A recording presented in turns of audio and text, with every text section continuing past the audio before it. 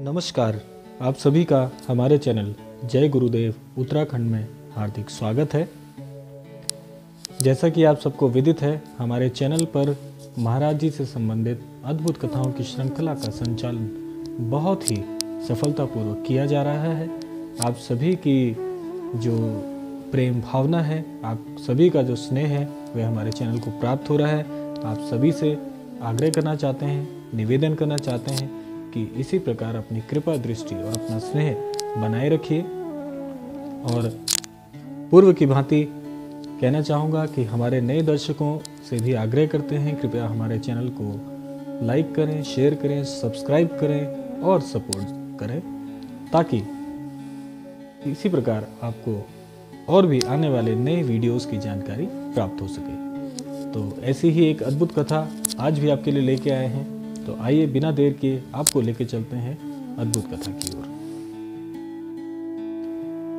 आप सभी जानते हैं कि महाराज जी हमारे बड़े ही दयालु हैं, बहुत ही ज्ञानवान हैं और बड़े ही स्नेह प्रदान करने वाले हैं।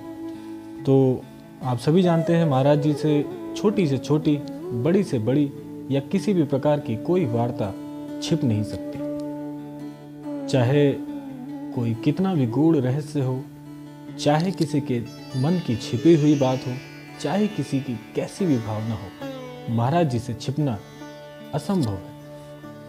तो आज की कथा आपको यही प्रेरणा देगी कि महाराज जी से आप किसी भी वार्ता को छुपाने की बजाय महाराज जी से कहिए और आप देखेंगे कि महाराज जी आपके लिए सदैव सहायक होंगे। तो एक बार महाराज जी कैंची आश्रम में अपनी कुटिया में बैठे हुए थे।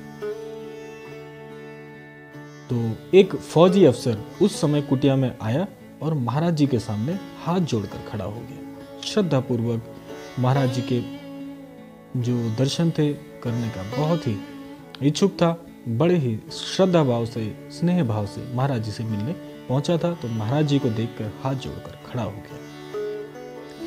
वहीं पर महाराज जी के एक अनन्य भक्त श्री किशनलाल शाह जी अपनी सात वर्षीय पुत्री के साथ बैठे हुए थे। उनकी लड़की जो थी, वे फौजी जो अफसर आए थे महाराज जी से मिलने के लिए, उनको बड़े ही भाव से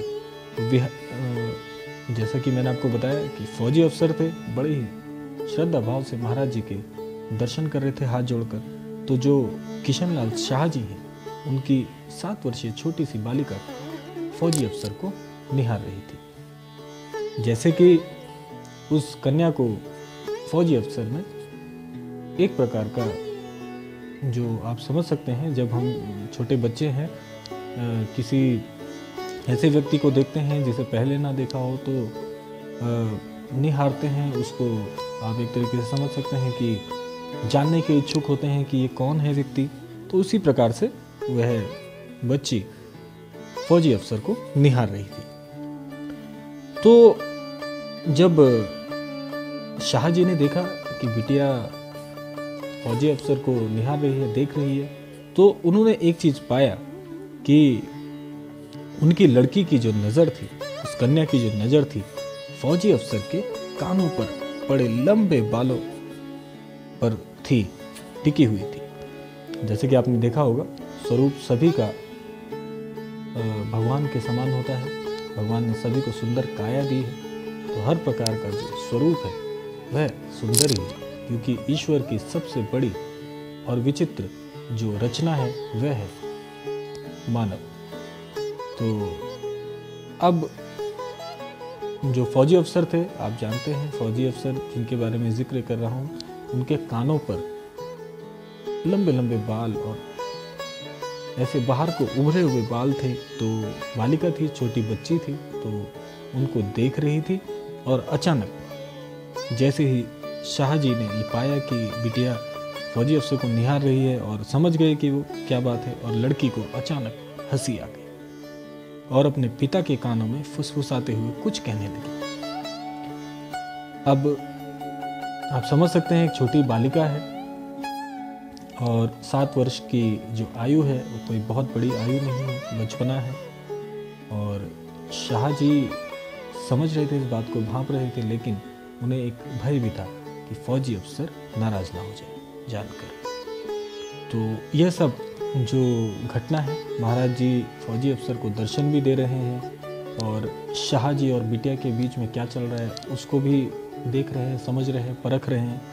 तो क्या होता है कि सामने तखत पर महाराज जी बैठे हैं और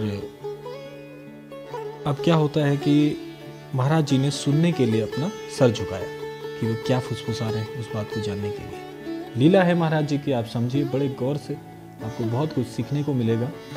तो महाराज जी ने जैसे ही सिर झुकाया, लेकिन लड़की अपनी बात कहकर चुप हो चुकी थी उस वक्त। तो महाराज जी ने उसके पिता से पूछा, क्या कह रही है लड़की?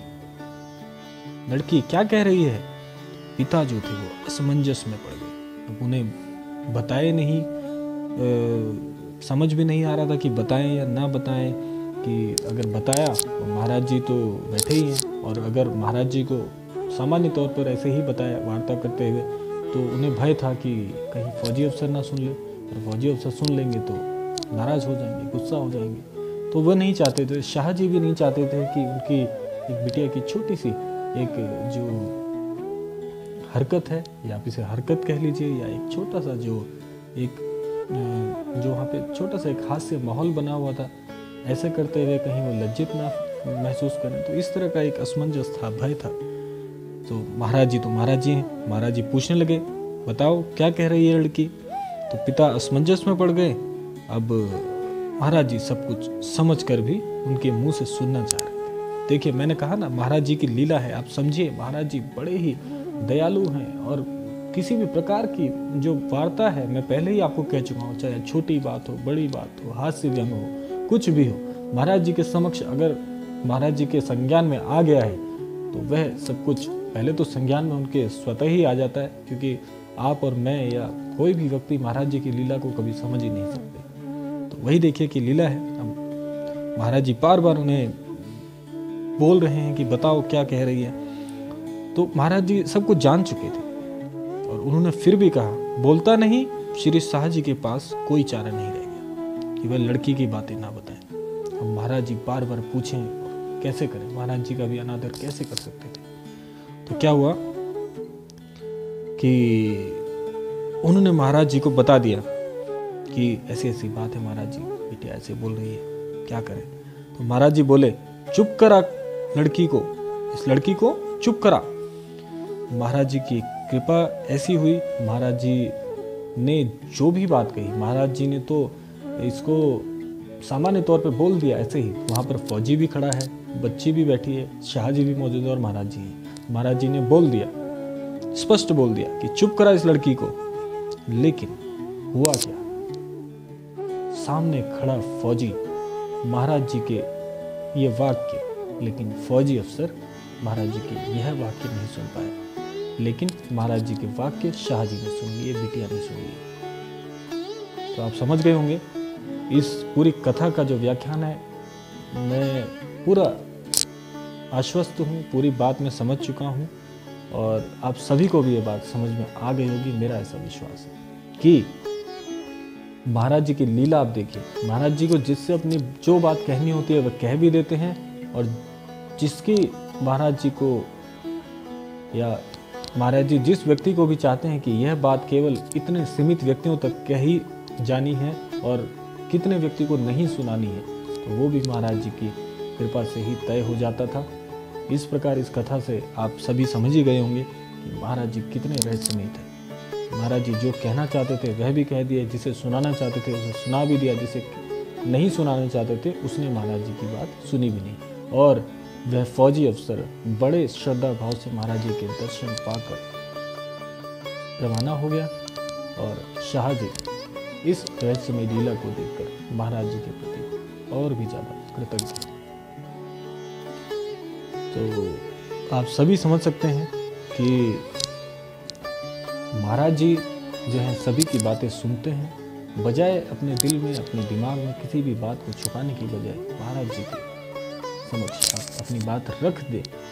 मैं आप सभी को ये कहना चाहता हूँ, अपनी बात महाराज जी साहब कहिए, वे सबकी बात सुनते हैं, वे विद्यमान हैं इस पूरी सृष्टि के कण कण में। लेकिन चाहिए तो चाहिए हमें सिर्फ़ एक चीज़, और वो है श्रद्धा भाव। प्रेम और महाराज जी के प्रति झुकाव, श्रद्धा। तो आज की आपको ये कथा कैसी लगी, अवश्य कमेंट बॉक्स में लिखिएगा, और इसी प्रकार हमारी जो अद्भुत कथाओं का जो यह क्रम चल रहा है, इस पूरे क्रम में आप मेरे साथ बने रहिए। आप सभी को महाराज जी से संबंधित पूरी जानकारियाँ प्राप्त होंगी। आपको अद्भुत और रहस्यमय कथाओं के बारे में मालूम होगी और महाराज जी की कृपा पाकर आप सभी होंगे, ऐसा मेरा विश्वास है।